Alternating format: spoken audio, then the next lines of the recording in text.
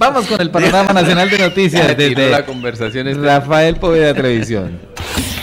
Hola, ¿qué tal? ¿Cómo están? Cordial saludo. Desde Bogotá, la agencia de noticias RPTV les presenta el siguiente panorama informativo nacional. Soy Carlos Pérez Domínguez. Las altas temperaturas que ha registrado el país en los últimos días pueden tener repercusiones serias en la salud de los colombianos. Por eso, el Centro Dermatológico Hospital Universitario Federico Lleras Acosta en cabeza de su directora Claudia Rojas Daza, hizo algunas advertencias para evitar problemas en la piel.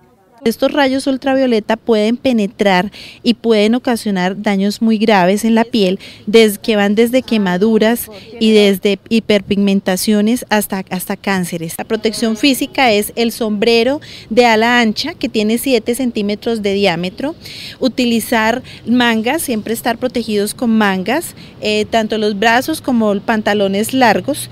Con el panorama nacional desde la agencia de noticias RPTV en Bogotá, les informó Carlos Pérez Domínguez. Regreso con ustedes.